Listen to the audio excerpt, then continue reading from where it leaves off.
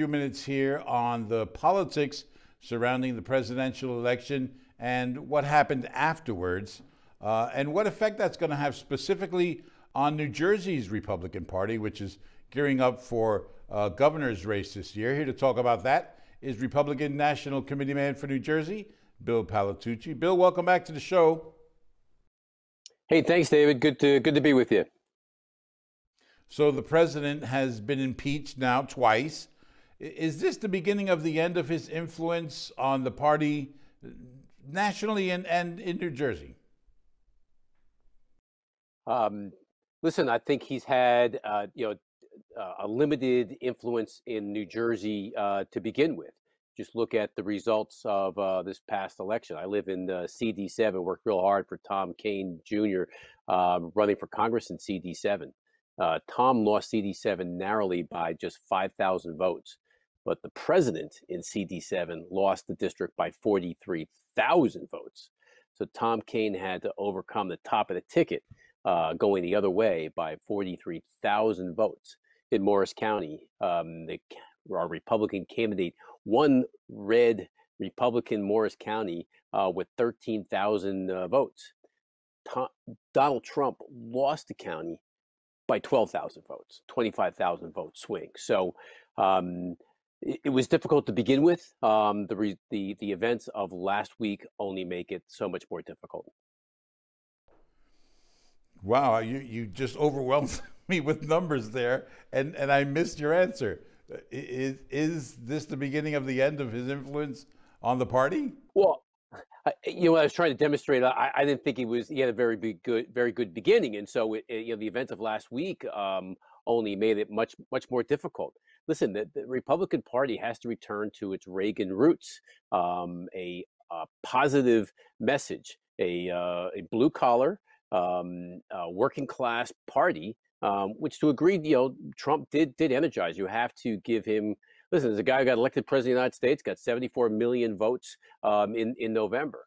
Um, but but the party has to do more than that, particularly in a blue state like New Jersey, to reach out to uh, you know voters of, of color of uh, suburban uh, you know the famous now saying is you know um, college educated suburban women um, and try to bring them back to the republican party.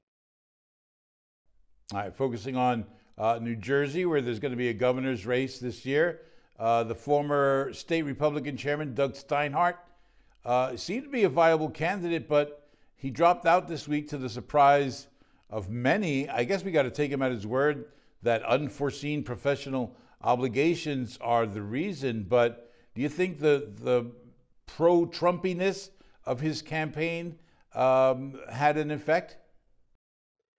Well, I, I, haven't spoken to Doug yet. We're, we're good friends. Uh, I think highly of Doug, you know, personally, but um, uh, it, it, had to have an impact. Um, the, the, the, president's, you know, losing the state, as I said again in November, by you know a wide, wide margin and then uh, you know inciting this riot uh, upon the, the, nation's capital you know only made it more difficult. So i don't know how anybody you know thought uh, they were going to you know run a race in a general election in the state of new jersey you know as a, as a trump candidate just not going to work.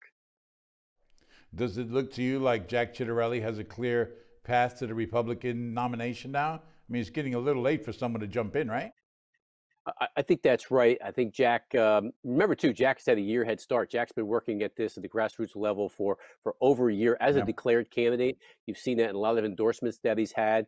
So, um, uh, um, you know, absent something unforeseen happening, yeah, I think Jack uh, is will be our nominee. You know, a lot of the county chairs have stepped up and said they're with Jack. You know, in New Jersey, um, we have a, a system based on uh, county endorsements, uh, and, and, so all those seem to be uh, almost completely lined up for Jack. Right. Is the party better off without a primary? This way they can focus on, on uh, the incumbent? Um, you know, I think that depends on cycle by cycle. Uh, listen, I've been involved in lots of primaries. I don't uh, shy away from that, but a lot of times I think it makes no sense. I thought it made no sense for Tom Kean Jr. to have a primary last year in CD7. Um, but you know, uh, primaries are are, are typical uh, can, can, be a good thing. Uh, Chris Christie had a primary in 09. I think it it sharpens uh, your skills and your message. Um, but in, in, a year like this, uh, you also get to uh, conserve resources. Uh, you get to focus on the, the general election. Um, and so, in that sense, uh, I think it's a bit of a uh, advantage for Jack to, to avoid a you know a, a hotly contested uh, primary uh, accusations going back on back and forth amongst the different candidates and, and having to spend spend some money. So you can you can now focus your resources on the fall campaign. All right, the season has begun. Bill Palatucci, Republican National Committee man for New Jersey. Always good to talk to you, man. Thanks for coming on with us. You too, David. Good to, good to talk to you.